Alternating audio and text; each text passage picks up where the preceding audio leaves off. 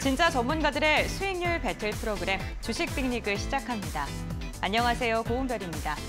오늘 국내 증시는 관망의 장세가 펼쳐지고 있습니다. 이번 주에 진행될 미국 주요 기업들의 실적 발표 그리고 다음 주에 예정되어 있는 미국 FOMC 정례 회의를 앞두고 시장은 한 걸음 쉬어가고 있는데요. 오늘 발표된 중국의 GDP 역시나 시장 예상치를 하회하면서 시장에는 부담으로 작용되고 있습니다. 이 시각 지수 흐름 함께 확인해 보겠습니다.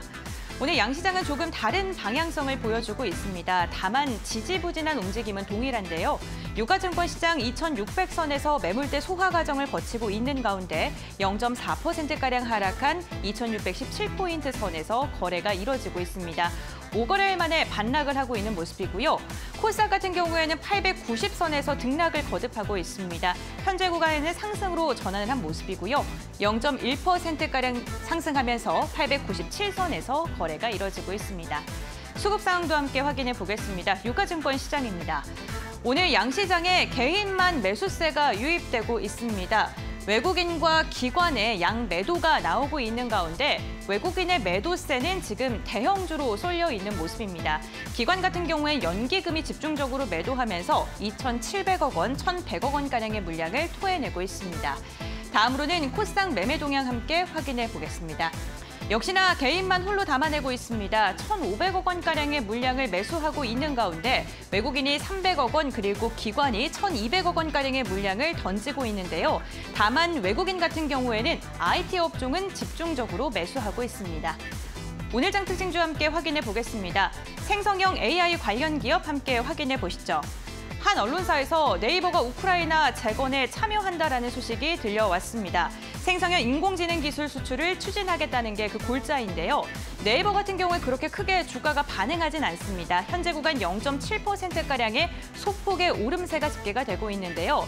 네이버와 협업을 진행 중에 있는 폴라리스 오피스, 오피스 소프트웨어 관련 기업이죠. 이 같은 소식이 들려오자 상한가로 직행했습니다. 현재 구간에도 가격 제한폭 풀리지 않으면서 4,175원 선 지나가고 있습니다. 다음 특징주 함께 확인해 보겠습니다. 장마 관련주입니다. 주말 동안 참 많은 양의 비가 내렸습니다. 이로 인해 슬픈 소식도 연이어 들려왔는데요. 그런데 이 비가 이번 주 지속적으로 이어질 수 있을 것이다라는 소식이 들려오면서 장마 관련주들 주목을 받고 있습니다. 장마 관련주들 비료 그리고 사료 관련주들이 좀 주목을 받고 있는데요. 특히나 경농이 오늘 개장 직후부터 대장주 역할을 하고 있는 모습이고요. 두 자릿대 강세 흐름 포착됩니다. 현재 구간은 15%가량 상승했고요. 장중에는 52주 신고가를 경신하는 움직임까지 나와줬습니다. 다음으로는 반도체 관련주들 함께 확인해 보시죠. 반도체 관련 기업들의 상승세가 지속적으로 나오고 있는 상황입니다. 어, DDR4 16GB D램의 현물 가격이 지난 7월 7일부터 반등하기 시작해서 2%가량의 오름세가 나온 상황이고요.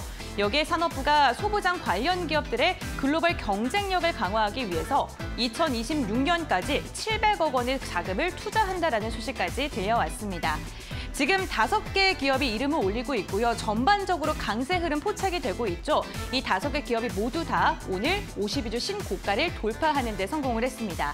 특히나 유니셈 같은 경우에는 오늘 만원 선을 돌파하면서 호가 단위가 변화했습니다. 16%가량의 강세가 포착이 되고 있습니다. 시장에서는 단기적으로 시장에 조금은 조정을 받을 수 있습니다만 중장기적으로 봤을 때는 앞으로 우상향 곡선을 지속적으로 가져갈 것이다라는 긍정적인 전망이 나오고 있습니다. 이러한 상승장에 우리는 어떠한 전략을 세워야 될까요? 오늘도 주식 빅리그를 통해 알아가 보시길 바랍니다. 그럼 지금 출발합니다.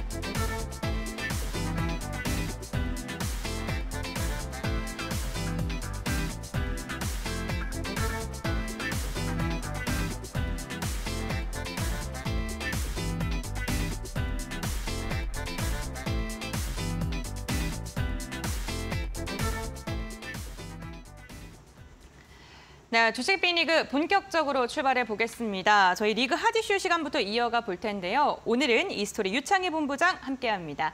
안녕하세요. 안녕하십니까. 네, 본부장님, 어, 네. 시장이 지금 조금 지지부진한 움직임이 나타나고 있습니다. 네. 어, 오늘 장 좀 어떻게 바라보시나요? 오늘 조금 아리송송한 느낌입니다. 무슨 말이냐면 코스피는 이 정도 그 하락이 나오는 게 맞아요. 음, 네. 0.4% 정도 지금 조정이 나오고 있는데 지금 딱히 어디가 강한 섹터가 없습니다. 뭐 건설주가 좀 강한데 건설주가 주가 지수를 그렇게 많이 끌어올릴 수 있는 섹터는 아니고요. 네. 그리고 나머지는 좀 약보합 정도의 흐름입니다. 어, 포스코홀딩스, 뭐 삼성전기 등이 강하긴 합니다만은 주가 지수를 어, 좀 방어해 주는 데 역할을 하고 있죠. 나머지 자동차, 뭐이 그 배터리 셀 업체들 그리고 삼성전자, 하이닉스 모두 조정이 나오고 있기 때문에 0.4% 조정이면 상당히 선방하고 있다라고 볼 수가 있거든요. 외국인들은 한 2천억 정도 매도하고 있고 거기다 오늘 방산주들도 많이 하락을 하고 있습니다. 반면에 코스닥은 어 뭐지? 지금 왜 이거밖에 안 오르지 하는 느낌. 어, 네. 그러니까 지금 반도체 관련된 종목군들 보면은 상당 부분 다 오르고 있어요. 뭐 개- 어, 종목 개 중에는 뭐 10% 이상 상승한 종목군들도 있고요. 뭐 주성 엔지니어링이 13%, 뭐 유니셈이 16% 이상 상승을 하고 있고요. 뭐 테스도 10% 오르고 음. 있습니다. 그 나머지도 한 3, 2, 3% 이상 상승하고 있고요. OLED 쪽도 그냥 고르게 어, 좋은 흐름을 보여주고 있습니다. 어, 그런데 2차 전지도 좋은 흐름입니다. 아주 좋은 흐름은 아니지만 뭐 장비주라든지 뭐 그 금양, 음. 뭐 에코프로, 뭐 코스모 신소재, 뭐 상당히 시가총액 높은 기업들이 주가 상승을 좀 이끌고 있는데 0.13%밖에 오르지 못하고 있습니다. 그렇다고 해서 어떤 섹터가 특별하게 급락이 나오는 섹터도 없거든요. 그래서 약간 우리가 그 느끼는 바가 좀 다르지 않나 생각을 하고 있습니다. 그래서 약간의 아리송한 느낌인데 그래도 시장 자체는 어, 좀 우상향 기조로 이어가려고 하고 있는 모습들이 나오고 있다는 부분들을 긍정적으로 평가해 볼 수 있지 않을까 생각하고 있습니다. 네, 알겠습니다. 어쨌든 우리 시장 앞으로는 좀 긍정적으로 흘러갈 것이다라는 전망을 해주셨습니다. 오늘 장에 대한 코멘트 들어봤고요. 이번에는 리그 핫이슈 오늘 시장에서 주목해 볼 만한 이슈를 체크해 보는 시간입니다. 오늘의 이슈는 어떤 이슈일까요? 지금 바로 만나보시죠. 테슬라가 전기 픽업 트럭, 사이버 트럭 시제품 공개 4년 만에 생산을 시작했습니다. 현지 시간 15일 트위터 공식 계정을 통해 기가 텍사스에서 첫 번째 사이버 트럭이 만들어졌다고 밝혔는데요. 머스크는 앞서 일단 사이버 트럭이 생산되면 연간 25만에서 50만 대를 인도할 수 있다고 말했습니다. 포드와 제네럴 모터스, 리비안 등 기존 전기 픽업 트럭과 경쟁하게 되는 상황인데요. 과연 테슬라는 게임 체인저가 될 수 있을까요? 관련 이야기 나눠보겠습니다.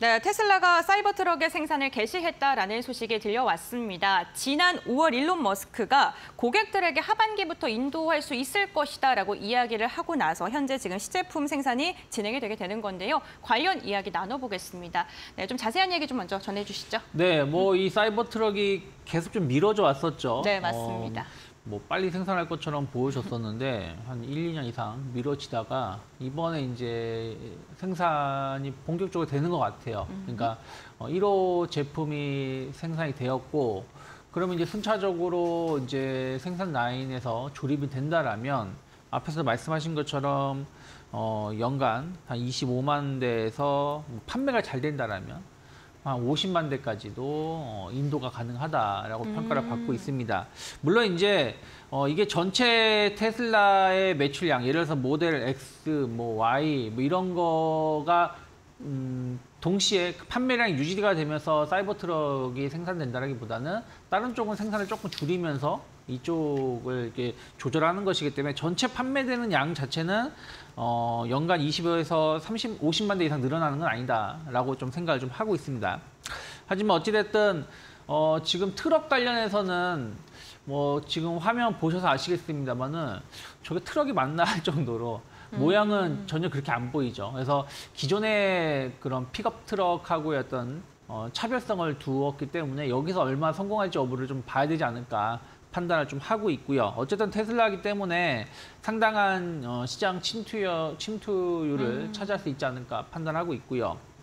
또 하나는 지난주에 이제 그런 뉴스가 나오면서 상당히 그 소비자들한테 관심을 일으키기도 하고 또 기존의 후발주자 업체들한테는 좀 충격적인 어, 얘기가 나왔었던 게 보급형 모델 Y를 출시하겠다라는 것이었죠.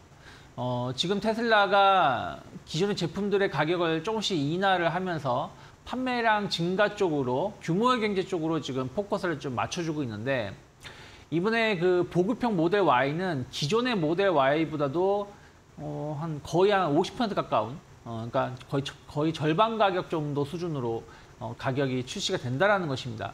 얼마 전에도 좀 논란이 됐었죠. 우리나라의 모델 Y는 한 8천만 원, 7천만 원 정도 하는데 중국에서 판매되는 모델 Y는 뭐 한 3, 4천만 원 정도 한다라고 하면서 어 무슨 우리나라 한국 사람이 봉이냐라는 얘기가 나왔었는데 그 내용물이 좀 다릅니다. 다른데 어찌됐든 그 모델을 우리나라에서 또 판매할 수 있게끔 음. 하겠다라고 하는 것이에요. 그래서 어 지금 가격대가 한 3천만 원 후반대 에, 정도로 예상을 좀 하고 있는데 어쨌든 지금 테슬라가 여러 시도를 하고 있는 것 중에 하나가 어, 좀 가격대를 좀 낮춰서 그러니까 테슬라가 중저가 브랜드가 별로 없습니다. 이 부분 중저가라고 하, 테슬라 기준에서 중저가라고 하더라도 한 7천만 원, 8천만 원 하거든요. 네. 근데 이것을 더 낮춰 가지고 어, 시장에 이제 침투하겠다라는 것은 이제는 그 가격 경쟁도 일반 기업들하고 하겠다라는 것이기 때문에 상당히 좀 의미가 있다라고 생각하고 있고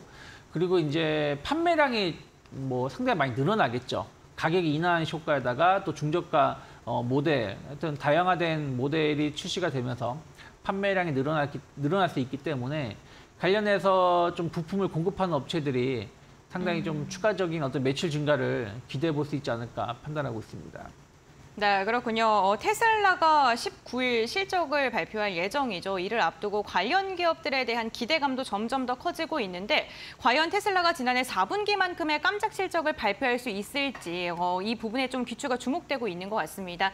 테슬라가 가격 인하 정책을 펼치면서 네. 판매 대수가 늘어나긴 했습니다만 매출은 증가해도 순이익이 감소할 수 있을 것이다라는 이야기가 나오고 있잖아요. 네. 그에 따라서 뭐 우리 증시가 좀 피해를 보거나 그러진 않을까요? 어 아무래도 이제 뭐 그 가격을 할인하기 때문에 음. 네. 뭐 예전보다 수익성은 좀 떨어질 수밖에 없다라고 보고 있어요. 네. 그렇게 되면 또 이제 부품사들한테 가격 단가 압력이 그러니까요. 좀올 수가 있겠죠. 근데 어 그럼에도 불구하고 테슬라의 영업이익률이 음. 네. 뭐 예를 들어서 뭐 현대기아가 최근에 영업이익률이 좋아져가지고 한 10, 한 8에서 10%대까지 올라왔거든요. 근데 그 전에 네. 영업이익률이 한 5% 미만이었어요. 음. 테슬라가 어, 떨어진다고 해도 영업이익률이 지금의 현대기아 혹은 뭐 다른 어, 브랜드 업체보다 더 높은 영업이익률을 어, 유지할 가능성이 높다 생각을 좀 하고 있습니다. 그렇기 때문에 부품사들한테 단가 인하 압력은 제한적이지 않을까 어. 판단을 하고 있습니다. 그래서 아직 거기에 대해서 너무 걱정할 정도의 내용, 그 걱정할 정도는 아니지 않을까 판단하고 있습니다. 네, 그렇군요. 그럼 어쨌든 테슬라가 많이 판매된다면 국내 증시에는 긍정적으로 작용할 수밖에 없는 상황인데요. 그렇다면 어떠한 종목을 조금 더 눈여겨보고 계신지 관련주와 함께 체크해 보겠습니다. 어떤 종목 좀 보고 계십니까? 네, 뭐 가장 이제 우리가 테슬라 향 부품사라고 하면 네. 명신산업이라고 보실 수 있을 것 같아요. 어, 명신산업은 이미 어, 예전부터 테슬라 관련주로 어, 주목을 받으면서 주가가 좀 움직임이 나왔었는데 최근에 조금 조정이 나왔다가 좀 반등세를 보여주고 있습니다. 테슬라 주가가 올라가면 올라갈수록 명신산업의 주가도 올라가는데 이 회사가 이제 핫스태핑 고- 공법으로 어, 샤시라든지 이런 제품을 좀 공급을 하는데 이 차량 경량화에 상당히 이 기법이 어, 특화되어 있다고 합니다. 그래서 지금 테슬라라든지 현대차, 기아에 납품을 좀 하고 있고요. 또 하나는 어, 이 회사의 모 회사가 MS 오토메이션인데 어, 그 회사가 현대 기아 1차 밴드입니다. 어, 그래서 어, 그것을 통해 가지고 기존에 협업했었던 관계가 이 명신 산업으로 좀 이어져 오고 있고 또 전기차로 갈수록 전기차는 이제 배터리 무게가 상당히 무겁습니다. 무겁기 때문에 어, 다른 부분들을 좀 경량화해야 되는 부분들이 좀 필요해요. 그래서 우리가 보기에는 조금은 아쉬운 부분들이 좀 있죠. 왜냐면 약간 그 외관 마감재를 약간 플라스틱으로 어, 도배하는 경우도 있고 또 실내도 좀 가볍게 하려고 하고 있는 부분들이 좀 있다 보니까 약간 어, 좀 고급 적인 어, 어, 약간 네. 어, 그런 부분들이 떨어지는 부분들이 좀 있는데 어쩔 수 없죠. 근데 이제 이런 부분들을 이제 서서히 좀 변화가 나올 수 있다라는 것이죠. 그런 부분들이 명신 산업이 좀 수혜를 입을 수 있다 생각하고 있고 뭐 테슬라의 판매가 량이 늘어난다라면 동시에 매출이 같이 늘어날 수밖에 없다 생각을 좀 하고 있습니다. 그리고 어, 수익성도 나쁘지 않다라고 보고 있어요. 그래서 지금 어, 최근에 보면 한 두 달 정도 어, 행보세를 보여줬었고 테슬라 차트를 보시면 비슷합니다. 그러니까 어, 테슬라의 그 연초 1월 달부터 흐름을 보신다라면 1월부터 지금 어, 2월 달까지 상승을 했었고 그리고 한 두 달, 석 달 정도 행보하고 있다가 5, 6월 달에 상승을 좀 어, 기록을 했고 그다음에 6, 7월 달은 행보하다가 최근 들어서 조금 이제 어, 다시 고점을 좀 갱신하려고 하고 있는 모습입니다. 그럼 명신산업의 차트를 보시면 비슷하죠. 1, 2월 달 강하게 올라왔었고요. 그리고 좀 행보하다가 4, 5월 달에 올라왔고 두 달 행보를 하면서 테슬라가 움직일 때마다 같이 어, 주가가 거의 비슷하게 쌍둥이처럼 후속 어, 후발주자 성격으로 움직임이 나오고 있기 때문에 테슬라의 주가가 크게 흔들림이 없다라면 명신산업은 다시 한번 어, 2만 5천 원, 6천 원 이상으로 주가가 상승할 여지가 있지 않을까 판단하고 있습니다. 네, 알겠습니다. 첫 번째 기업으로 명신산업 언급을 해주셨습니다. 테슬라의 주가 추이와 연동돼서 움직이는 경향이 있기 때문에 테슬라의 추이를 좀 꼼꼼하게 확인하시면서 대응을 해보시면 좋을 것 같습니다. 그럼 다음으로 두 번째 종목도 확인해 볼 텐데요. 어떤 종목일까요? 네, CTR 모, 모빌리티라는 회사가 있는데 네. 이 센트럴 모텍의 이름을 바꾼 겁니다. 음. 그래서 좀 어, 이름이 좀 생소하신 네. 분들은 그 전에 회사 이름을 좀 기억하시면 좋다 생각하고 있고요. 이 회사는 이제 국내 최초로 알루미늄 암을 좀 개발해서 지금 테슬라에 좀 공- 독점적으로 제품을 좀 공급하고 있다고 보시면 될 것 같아요. 아까 제 명신 산업이 핫스태핑 공법으로 인해서 어, 차체를 좀 가볍게 한다라고 말씀드렸는데 마찬가지입니다. CTR 모, 모빌리티 역시 마찬가지로 어, 아직까지는 이제 배터리 자체가 무겁고 전기차가 좀 진행이 되고 있다 보니까 어, 소재를 좀 다양하게 위- 좀 가볍게 하기 위해서 알루미늄 소재를 많이 씁니다. 음. 어, 그래서 이제 이 부분이 좀 주목을 받고 있고 거의 뭐 국내 최초로 개발을 했고 어, 테슬라의 독점을 공, 독점적으로 공급하고 있다라고 보고 있는데 또 하나는 이 알루미늄의 사용 그 빈도수가 어, 상당히 고급 차량들에 많이 사용되고 있어요. 이 승차감이라든지 이런 부분들 관련해서도 이 알루미늄이 상당 부분을 차- 어, 좀 보조해주는 보완해주는 역할을 좀 해주고 있거든요. 그래서 현대기아 쪽에 좀 제네시스 라인 라인이라든지 다른 어, 브랜드 쪽으로도 충분히 어, 매출이 어, 반영될 수 있다 생각하고 있습니다. 그래서 최근에 보면 현대차 관련해서 차량 경량화 추세로 매출이 동시에 성장을 좀 하고 있고요. 또 하나는 이제 변속기 부품입니다. 변속기 부품 관련해서 그 CVT 수요는 계속해서 늘어나고 있어요. 변속기가 뭐 정말 옛날에는 뭐 4단 변속 이 정도였지만 지금은 8단, 10단, 뭐 12단 이렇게 늘어나고 있기 때문에 그와 관련해 가지고 CTR 모빌리티가 좀 수혜를 입을 수 있다 판단하고 있습니다. 주가만 본다라면 조금 이렇다 할 모습을 보여주고 있지 못합니다. 한 1년 가까이 한 16,000원에서 옆으로 횡보세를 보여주고 있는데 작년에 실적이 썩 좋지 못했어요. 그러니까 매출은 비슷하게 어, 형성이 되는데 영업이익이 조금 감소했었던 부분들이 좀 있습니다. 근데 이런 부분들은 이제 조금 올해 상당 부분 개선될 여지가 있고 아까 말씀드린 대로 뭐 테슬라라든지 현대기아 쪽의 어떤 경량화에 맞춘 어, 매출 증가가 좀 기대가 된다라면 충분히 어느 정도 바닥은 확인되었다라고 생각하고 있고 점진적인 우상향 기조 좀 점진적인 이 우상향으로 좀 주가가 전환될 수 있지 않을까 판단하고 있습니다. 네, 알겠습니다. 차량 경량화 관련 기업 두 가지 기업 확인해 봤습니다. 명신산업과 CTR 모빌리티 살펴봤고요. 어, 마지막으로 한 종목 더 확인해 볼 텐데요. 어떤 종목 살펴볼까요? 네, 어, 어쨌든 이제 배터리 쪽 회사를 받는다 생각을 좀 하고 있어요. 네. 음, 이번에 이제 모델 저 저가형 모델 Y 출시가 이제 될 수 있었던 것은 기존에 이제 3원계 배터리에서 이제 LFP 배터리로 어, 네. 바뀌면서 이제 가격을 좀 인하할 수 있는 부분들인데 어, 우리나라 기업들이 LFP 배터리는 별로 신경을 안 쓰고 있습니다. 거의 대부분 중국 기업들이 LFP 배터리 시장을 장악하고 있다고 보시면 될 것 같아요. 우리나라 기업이 기술력이 없어서 만들지 못하느냐? 아니에요. 어, 수익성이 별로 없어서 안 만드는 겁니다. 어, 그러니까 네. 왜냐하면 LFP 배터리 같은 경우는 그 온도에 상당히 민감합니다. 그래서 어, 우리나라처럼 사계절이 뚜렷하거나 또 추운 지방에서는 성능을 절반 이상 발휘를 못하게 돼요. 그래서 그냥 좀 어, 동남아처럼 따뜻한 지역, 음. 어, 어, 사계절 내내 좀 따뜻한 지역에서 좀 특화된 어, 제품이라고 좀 보시면 될 것 같아요. 어. 그래서 우리나라 기업들은 별로 이거에 대해서 관심이 좀 없었는데 네. 어쨌든 이제 이 시장도 아직까지는 좀 성장세를 보여주고 있다는 음. 것이죠. 그러면 이제 왜 LG 화학이냐? 엄밀히 따지면 LFP 배터리 쪽으로 해서는 SK 온이 조금은 빨리 어, 시장에 진출한 부분들이 좀 있어요. 하지만 LG 에너지 솔루션도 지금 미국에다가 LFP 관련돼서 세웠던 공장을 어, 배터리 공장을 짓고 있고요. 물론 ESS 쪽으로 좀 치중된 부분들이 좀 있죠.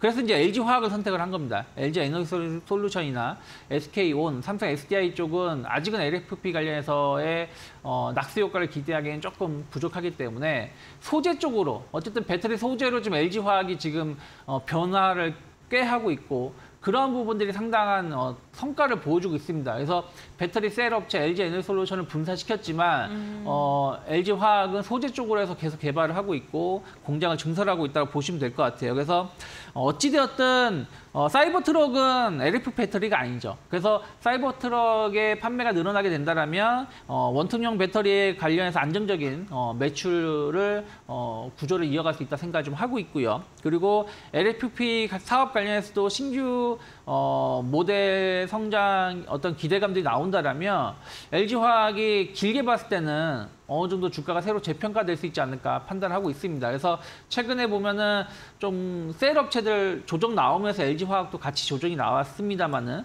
충분히 한 60만 원, 65만 원대가 어느 정도 좀 저점이 좀 확인되고 될 수 있다라면 다시 한번 한 7, 80만 원대까지의 어떤 어, 반등은 충분히 나올 수 있는 위치가 아닐까 생각하고 있습니다.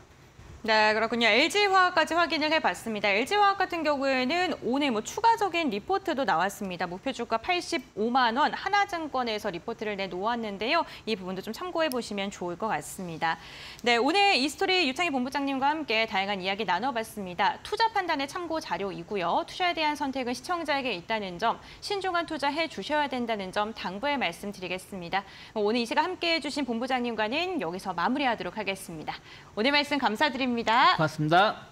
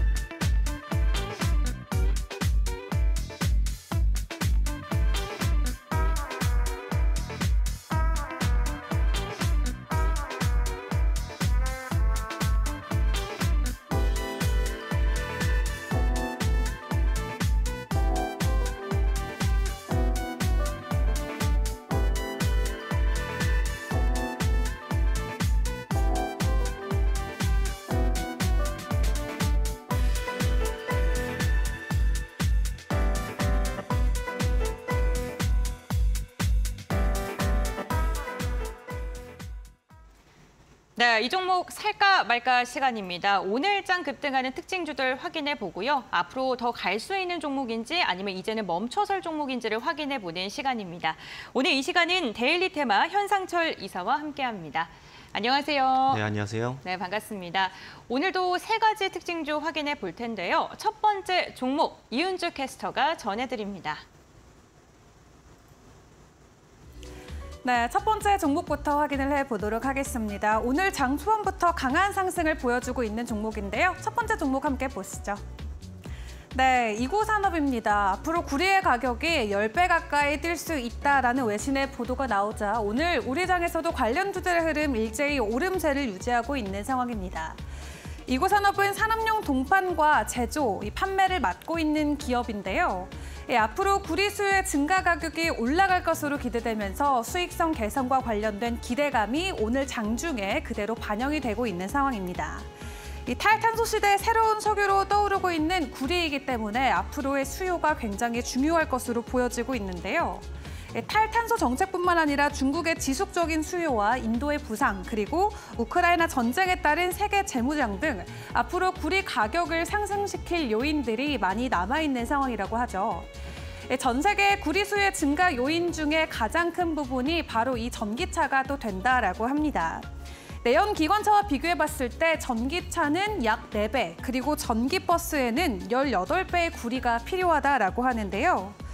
이에 관련 업체들도 제품 생산에 필요한 구리량을 줄이는, 줄이는 기술을 개발하거나 알루미늄과 같은 대체 소재를 찾는 데 많은 노력을 기울이고 있는 상황이라고 합니다.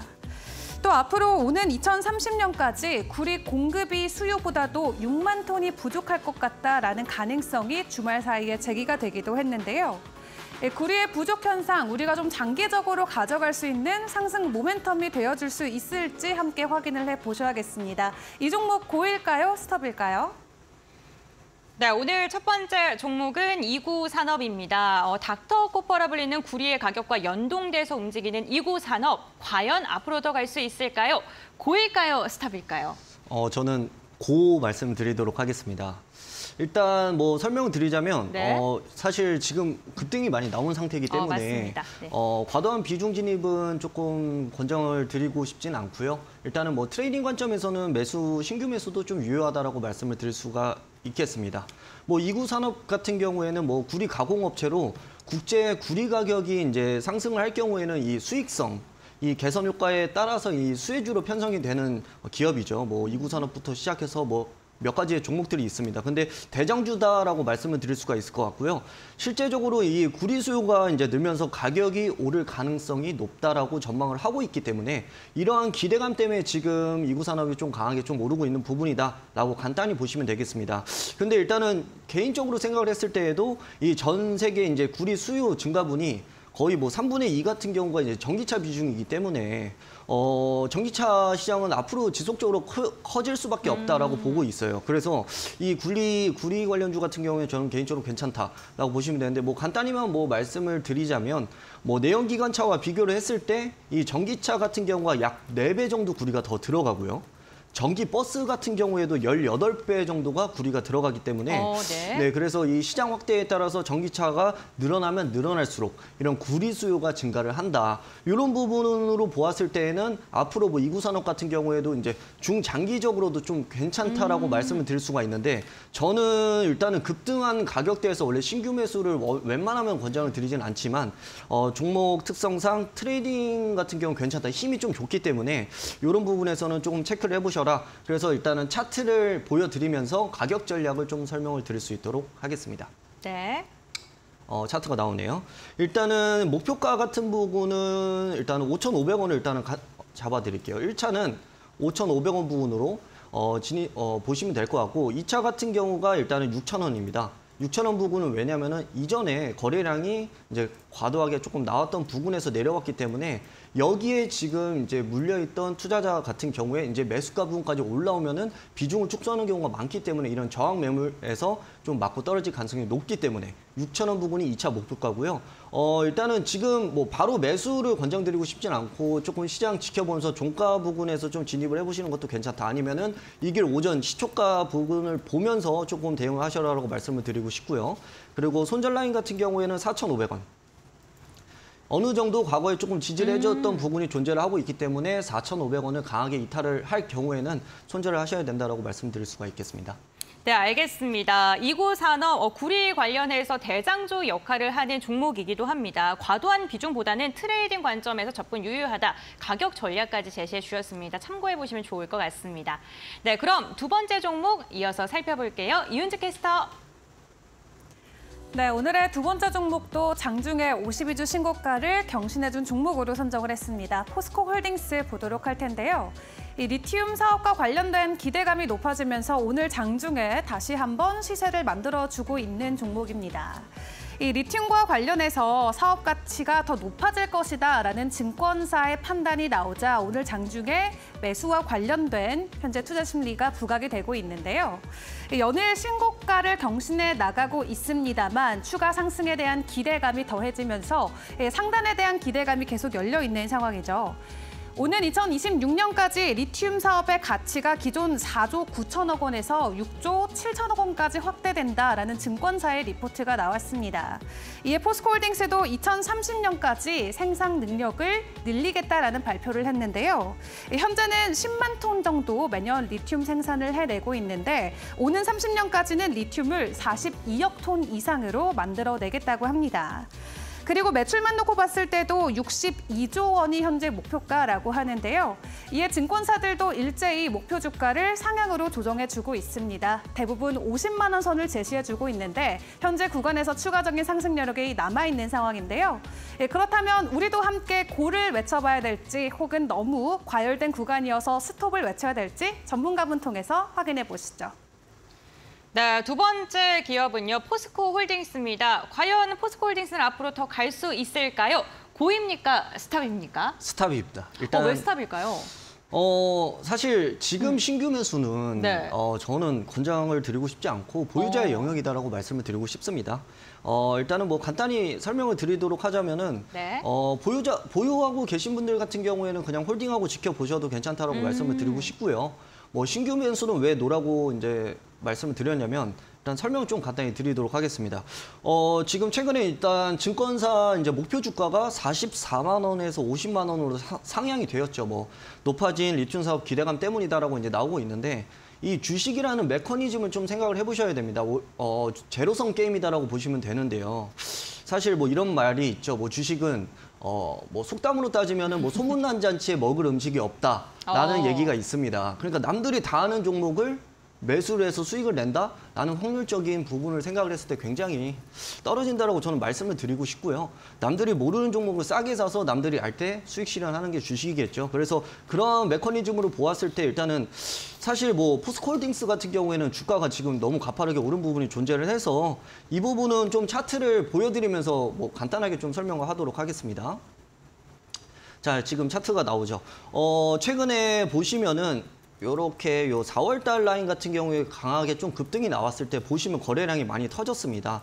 그리고 밑에 보시면은 이 기관과 외인들의 수급이 어느 정도 이제 나오죠. 근데 거의 다 4월 달에 굉장히 많은 물량들을 조금 차익 실현을 하면서 물량이 많이 빠져나왔다라고 보시면 되고요. 그 이후로는 일단 어느 정도 횡보를 하면서 조금씩 이제 지켜준 부분에서는 이 개인 투자자분들의 큰 거래 대금이 들어오면서 가격 라인대를 좀 지켜줬다라고 일단 말씀을 드리고 싶고요. 최근 같은 경우에 이제 가파르게 다시 한번 오르고 있습니다. 이런 부분에서는 소폭의 기간의 매수량이 좀 들어온 부분은 존재를 하지만은 어, 개인 주체가 이제 개인 투자자분들일 경우가 좀 높다라고 말씀을 드리시고 오늘 같은 경우에도 잠정치를 확인을 했을 때 어, 일단은 잠정치지만요. 보시면은 오늘 같은 경우에도 외인과 기관은 음. 지속적으로 조금 차익 실현을 하고 있는 모습이다. 그래서 어, 사실 뭐 공매도도 가능한 종목이고 이런 종목 같은 경우에 어, 주식 초보분들이 들어가기는 굉장히 좀 어렵지 않을까라고 생각이 들고요. 그리고 주식이라는 게 항상 이렇게 가파르게 오를, 오르는 이 가파르게 오르면 가파르게 떨어질 가능성도 매우 높습니다. 그렇기 때문에 그 높아진 주가만큼 리스크도 크다. 그래서 굳이 이 종목을 신규 매수할 바에는 다른 종목을 좀 보시는 게 맞다라고 이제 설명드리고 싶네요. 네, 알겠습니다. 포스코홀딩스에 대해서는 스탑을 외쳐주셨습니다. 굳이 리스크가 크기 때문에 신규 매수 접근을 할 필요는 없다라고 이야기해 주셨고요. 스탑을 외쳐주셨습니다. 그럼 마지막 종목 함께 알아보겠습니다. 이은지 캐스터. 네, 이어서 마지막 종목도 공개해 드리도록 하겠습니다. 오늘의 마지막 종목은 경농입니다. 흑해 곡물 협정과 관련해서 먹구름이 지속적으로 이어져 오고 있죠. 올 한 해 동안도 해당 이슈로 인해서 이슈가 부각될 때마다 주가도 상승하는 모습을 보여줬는데요. 오늘도 어김없이 주가 상승이 나왔습니다. 예, 오늘자로 만료가 되는 흑해 곡물 협정 아직까지는 추가적인 소식이 나오지 않고 있는 상황인데요. 아직 계약 갱신과 관련해서 결정된 바가 없다라는 부분이 주가에서는 현재 상승 요인으로 작용이 되고 있습니다. 또 일각에서는 이 곡물 협정이 아예 폐기가 될 수도 있다라는 우려도 나오고 있는데요. 연장되지 못하고 폐기가 될 경우에는 중동과 아프리카 극빈국들을 비롯해서 전 세계 곡물 가격이 다시 한번 폭등할 수도 있다라고 합니다. 우선 경농이라는 회사만 놓고 봤을 때는 앞서서 글로벌 온실 기업인 네타핀과 함께 첨단 온실 산업 파트너를 체결한 바도 있었는데요. 다만 수급적인 면에서 외국인들이 지속적으로 대량 매도세를 이어오고 있는 만큼 우리가 이슈에 주목해야 될지 혹은 수급 쪽에도 함께 이슈를 확인해 봐야 될지 추가적인 포인트가 필요해 보입니다. 전문가님과 함께 확인해 보시죠. 네, 오늘 세 번째 종목은요, 경농입니다. 흑해 곡물협정 관련 주들 오늘 들썩이고 있는 가운데 대장조 역할을 하고 있는 경농, 과연 앞으로 더 갈 수 있을까요? 네, 전문가님, 고일까요? 스탑일까요? 어, 스탑입니다. 어, 스탑입니까? 네.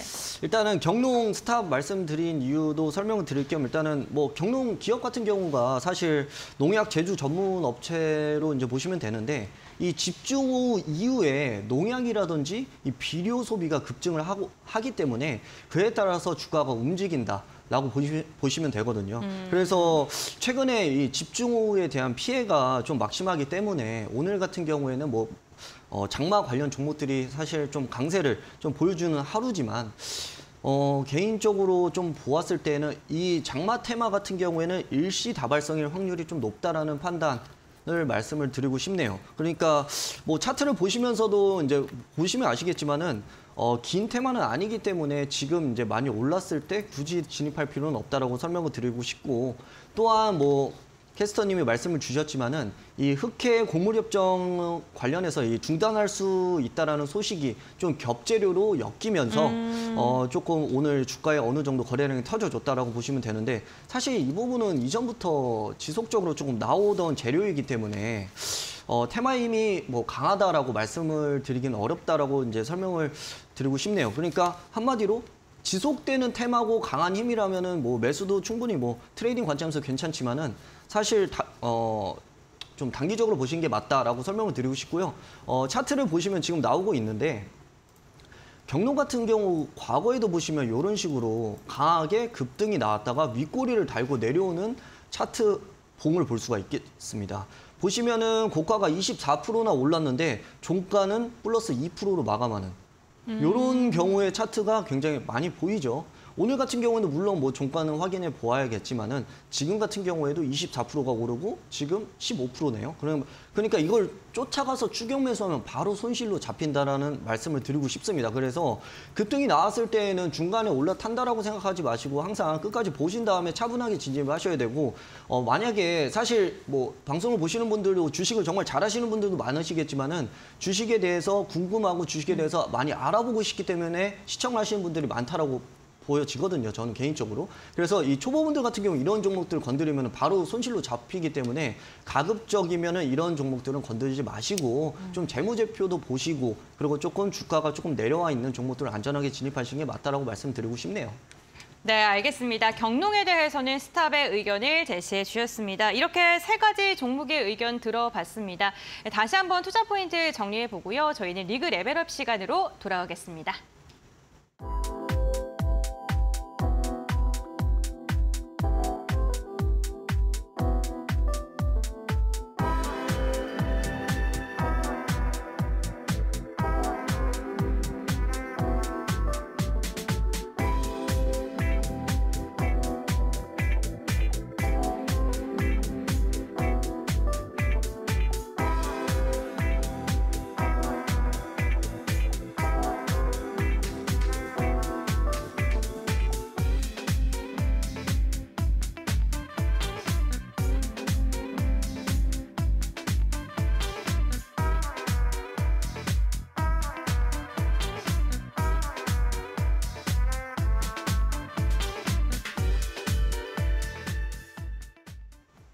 네, 리그 레벨업 시작입니다. 어, 여러분들의 계좌를 레벨업 시켜줄 수 있는 진정한 고수 전문가를 찾는 시간이죠. 수익률에 따라서 하수부터 신까지 전문가님들의 호칭이 주어지게 됩니다. 2주라는 시간이 주어지고요. 그에 따라서 어, 이제는 칭호가 주어 수여가 되는 건데요. 이제 절반이 지났고요. 어, 이사님의 두 번째 종목을 오늘 들어보는 시간인데 보니까 손절가도 굉장히 중요해 보입니다. 손절가 네. 터치하면 무조건 하수거든요. 네. 오늘 종목 네네. 너무나도 기대되는데요. 어떤 종목 들고 오셨을까요? 아, 오늘은 네. 일단 코리아 FT라는 종목을 가지고 아, 왔고요. 부담스러우신가 봐요. 아니, 아니. 네. 괜찮습니다. 뭐 아, 어찌 네. 됐든 간에 종목 잘 발굴해서 가져와서 많은 아, 네. 수익 나면 좋은 거니까요. 맞습니다. 예, 저도 최선을 다해서 좋은 종목 가지고 올 테니까요. 많은 관심 부탁드리고 어, 네. 코리아 FT라는 종목을 가지고 왔습니다. 네. 일단은 기업 설명 드리도록 하겠습니다. 뭐 카본 캐니스터, 뭐 플라스틱, 필러넥 등 자동차 연료 개통 부품과 실내 의장 부품, 이 친환경 자동차 부품 생산 업체다라고 보시면 되겠습니다. 뭐 현대차나 기아를 주요 매출처로 자동차에 이제 골격이 되는 차체 부품 제조 및 공급을 하여 판매를 하고 있는 기업이다라고 보시면 되는데요. 일단은 이 기업을 가져온 부분에서도 가장 중요한 부분이 하나죠. 올해 1분기 같은 경우에도 사실 실적이 굉장히 좀 호조다. 앞으로의 성장 기대감이 유효하다라고 이제 말씀을 드리고 싶습니다. 어, 이따가 한번 다시 한번 보여드리긴 할 텐데 매출액 같은 경우에는 어, 플러스 11% 정도 전년 동기 대비해서 올랐고요. 영업이익 같은 경우에도 99% 그리고 순이익 같은 경우에도 75% 증가를 하면서 어, 사실상 좀 실적이 굉장히 좋게 나왔고요. 어, 매출 원가, 판관비, 인건비 및 이 복리후생비가 모두 좀 증가를 한 부분이 있지만은 사실상 이 매출액의 확대폭이 크기 때문에 이를 좀 상쇄시킨 부분이 존재를 하고 영업이익 또한 대폭으로 좀 증가한 부분이 있습니다. 또한 뭐 지난해 출시된 이 폭스바겐 전기차 의장 부품 공급 업체로 좀 선정이 된 부분이 있고요. 글로벌 친환경차 부품 공급 파트너로 입지가 유효하다라고 보시면 됩니다. 그리고 주력 제품 같은 경우에 이 주력 생산 제품 중에서 카본 캐니스터 같은 경우에는 국내 점유율의 1위 기업입니다. 그리고 글로벌 점유율 같은 경우에도 4위를 차지를 하고 있기 때문에 어, 경쟁력 측면에서도 굉장히 괜찮은 기업이다라고 이제 말씀을 드릴 수가 있고 좀 이따 뭐 재료적인 부분도 항상 봐야겠죠. 요즘에는 테마가 붙으면은 오르는 종목들이 많으니까요. 그래서 일단은 재료 한 가지는 음, 미국 도로교통안전국에서 자동 비상 브레이크 설치를 3년 내 의무화한다는 주장안이 발표가 되었는데 여기에 따라서 이 비상 자동 제동 장치 관련주로 좀 수혜를 받을 수 있는 가능성이 있다. 요 정도 한번 보시면 되고요. 두 번째로는 뭐 현대차와 공동으로 이제 출자를 해서 어, 차량용 반도체 설계 기업인 보스 반도체에 이제 투자한 이력이 있습니다. 그래서 지난해 8월에 이어서 어, 20억 원 규모의 후속 투자를 실시했다는 소식과 함께 어, 사실 뭐 앞으로의 투자 수익도 좀 기대를 해볼 수가 있다라고 이제 말씀을 드릴 수가 있겠습니다. 그 다음에는 뭐 이제 차트를 조금 보여드리면서 추가적인 설명 드릴 수 있도록 할게요. 자 일단은 뭐 보시면은 어, 목표가 같은 경우에는 4,250원 제시를 해드립니다. 그 이유는 과거에도 다, 어, 큰 거래량이 발생을 하면서 고점을 찍고 내려왔던 부분이 존재를 하는데 최근 같은 경우에도 다시 한번 매물을 좀 희석을 해주고 눌림목이 있습니다. 오히려 가격에 분할 매수하기가 딱 좋은 위치가 아닐까라고 말씀을 드리고 싶고요. 전고점 부분에서는 일단은 절반 정도는 조금 수익 실현을 한 다음에 추가적으로 대응을 하셔야 된다라고 말씀을 드릴 수 있도록 하겠습니다. 제가 항상 뭐 종목을 설명을 드리거나 할 때 목표가에서 절반 정도를 만약에 수익을 실현을 하면 이익 보존가도 목표가로 기준을 대응을 하셔야 됩니다. 한마디로 내가 4,250원에 이제 절반을 수익 실현을 했습니다. 그러면은 이 종목이 4,500원까지 올라가면 좋지만은 그 이후에 조정을 맞고 떨어지면은 4,250원을 깨지면 다 전량 수익 실현하면서 전체 다 손해가 없이 마무리를 지어야 된다라는 관점으로 보시면 좋을 것 같고요. 어, 손절 라인 같은 경우에는 뭐 아까 말씀하셨지만 굉장히 중요하겠죠. 음, 네, 3,300원, 3,300원으로 제시를 해드립니다. 음, 네, 알겠습니다. 네, 이렇게 보시면 되고요. 일단은 음, 보시 추가적으로 네. 실적을 조금 보여드리도록 하겠습니다. 어, 자, 시- 보, 네, 보시면은 시가총액이 한 천억 원이 조금 넘는 기업입니다. 근데 음. 2020년도 보시면은 4천억 원, 그리고 21년도 4,600억 원. 그리고 2022년도에는 5,600억 원이나 나오고 있어서 제가 개인적으로 보았을 때는 주가 대비 좀 어, 실적 대비 저평가가 좀 되어 있다라고 보면 될 것 같고요. 어, 일단은 올해 1분기 실적 같은 경우에도 영업이익이 115억이 나왔습니다. 근데 작년 같은 경우에 한 해 동안 벌어들인 영업이익이 1,194억이에요. 그러니까 한 분기 1분기에 거의 절반 이상의 영업이익이 나왔다라고 보시면 되고 뿐만 아니라 순이익 같은 경우에도 어, 83억. 근데 1분기에 이미 뛰어넘은 금액이죠. 108억의 당기 순이익이 발생을 했습니다. 그만큼 올해 실적이 조금 기대가 된다라고 말씀을 드리고 싶고 부채 비율이 그래도 조금은 있는 편이에요. 부채 비율은 조금 있는 편이지만은 밑에 유보율을 보시면 이 현금 유동 을 보시면은 굉장히 많기 때문에 갑자기 급작스러운 뭐 악재가 터지거나 이런 가능성이 현저히 낮다. 그리고 실적도 매우 좋기 때문에 해당 기업 같은 경우에 지금 종가 기준에서도 조금 모아 가지고 그 다음에 천천히 반등 나온 구간에서 비중 추가하시면 충분히 좀 수익 낼 수 있는 기업이라고 말씀드릴 수가 있겠습니다. 네, 알겠습니다. 코리아 FT 말씀을 해주셨습니다. 목표가 4,250원 제시해 주셨고요. 손절가 같은 경우에 3,300원으로 말씀을 해주셨습니다.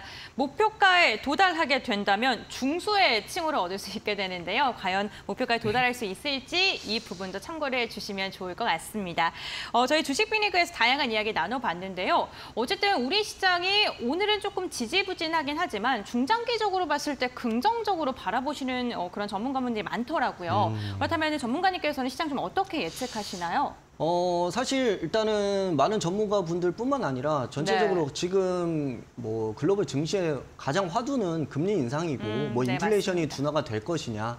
뭐 이런 부분에 따라서 지속적으로 증시가 이제 움직일 수밖에 없다라고 말씀을 드리고 싶은데 사실 이번 달 FOMC 회의에서는 금리 인상은 이제 무조건 되지 않을까라고 저도 예측을 하고 있고요. 그 이후에는 일단 뭐 동결이 되든지 인하가 될 경우에는 증시가 조금 어 좋은 흐름으로 상승 탄력을 받을 수가 있다고 보고 있는데 이 그런 좋은 시나리오가 나왔을 경우에는 이 금리 관련해서 가장 영향을 받고 있는 빅테크 뭐 음. 기술주 관련주들이 강세를 보여줄 수밖에 없다. 그래서 지금 같은 경우에도 뭐 반도체라든지 네. 이차 전지 뭐 전기차 이런 종목들이 지금도 조금 수급이 좋잖아요. 네. 그래서 그런 종목들 위주로 일단 트레이딩 관점에서는 괜찮은데 뭐 한 가지 말씀드리고 싶은 거는 제가 이 종목 살까 말까 코너 같은 경우에는 특징주 위주로 많이 이제 음. 설명을 드리잖아요. 네. 근데 그런 종목들은 이제 바로 재료가 나오기 때문에 음. 사실 지속적인 테마성으로 보기는 좀 어려워요. 그래서 그런 종목들 같은 경우는 트레이딩 관점으로 조금 보시는 게 맞다라고 말씀을 드리고 싶고요. 지금 같은 경우에 사실 실적 좋은 종목들 아래에서 올라오는 종목들 많거든요. 음. 물론